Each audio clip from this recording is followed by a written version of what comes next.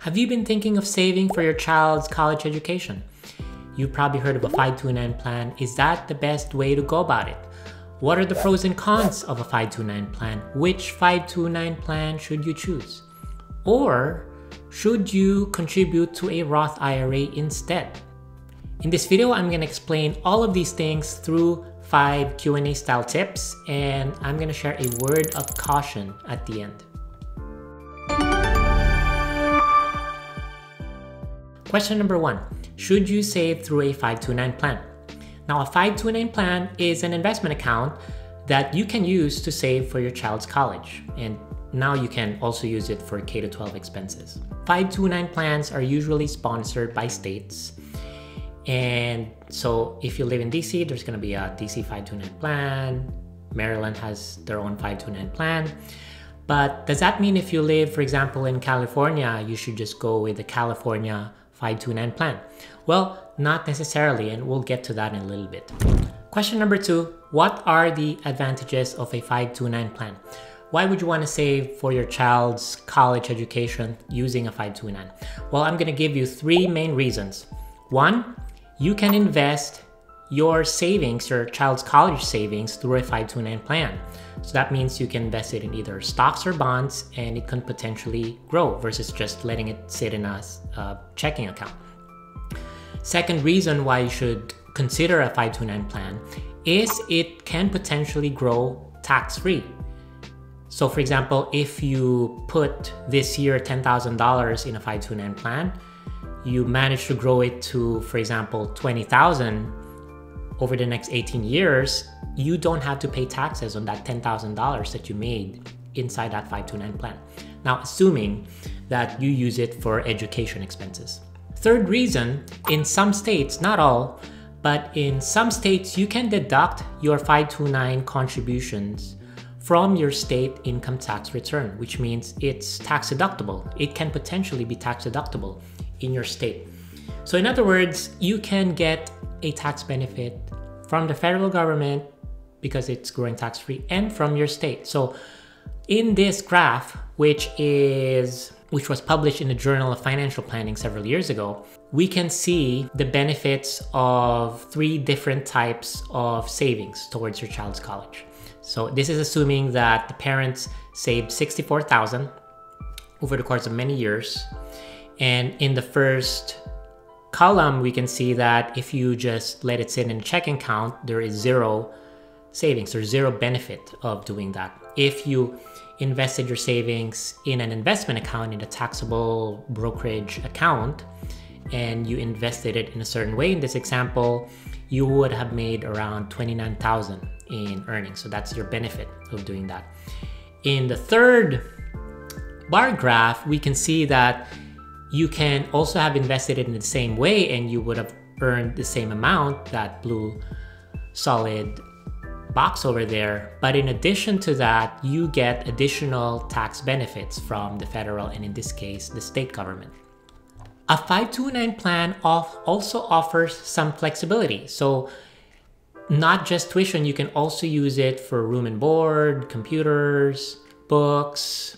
And if for some reason your daughter gets a scholarship in college and she doesn't get to use the 529 savings that you set aside and she goes to grad school, she can also use that for graduate school.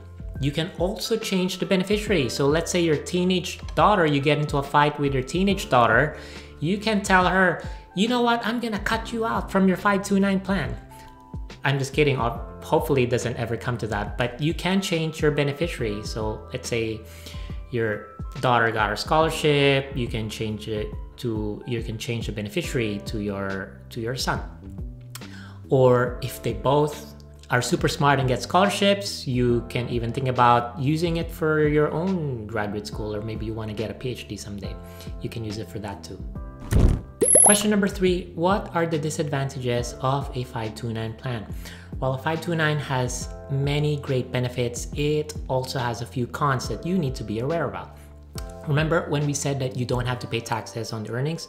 Well, that's only true if you use it for education. So if your only child decides not to go to college, then when you have to take out the money that you saved in a 529 plan, you have to pay taxes on the earnings.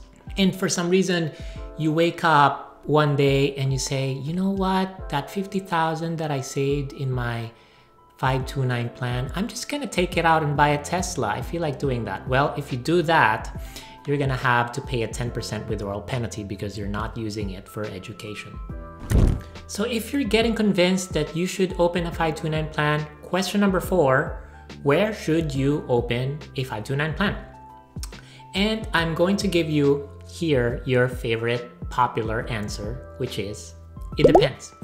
If you live in a state that offers tax deductible benefits and the investment options of that 529 plan is really good, then you might consider contributing to your state's 529 plan. If you live in a state that does not offer tax deductible benefits, let's say in California or in New Jersey, and there are many other states that don't give a state tax deduction, and the 529 investment plan options there are not that good, then you can consider shopping around. Check out the other 529 plan in other states. And this is really where a financial planner can be of assistance. Now we come to the fifth and final question 529 versus Roth IRA. Which is better? Now, some families, including a few of our clients, hesitate about contributing to a 529 because they're worried that maybe their child won't go to college or maybe they'll get a scholarship and they'll end up paying taxes and a 10% withdrawal penalty. Some of them might have a spouse that is a UK citizen or a German citizen, and college in Europe is generally cheaper, then they're worried that, oh, maybe my 529 savings, I won't be able to use that for that, and I'll end up paying a penalty. There is an advanced alternative that some advisors might have you consider, which is contributing to a Roth IRA for your child's education. Why? Because if you do that, you can take out your contributions, not the earnings, but your contributions without any tax implications or without any penalty. So it gives you a lot of flexibility. Now, 529 versus Roth IRA, let me give you my quick thoughts on those.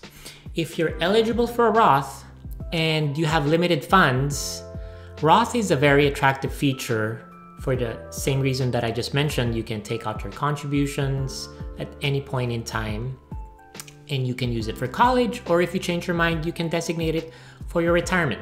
Now, the main thing that you have to think about is there's no ready-made portfolios like that in a 529. You have to know how to invest those Roth IRA contributions. Now, if you can potentially do both 529 in a Roth IRA, I would say why not do both, right? You contribute to Roth IRA, get the benefits from that, contribute also to a 529, get the benefits from that.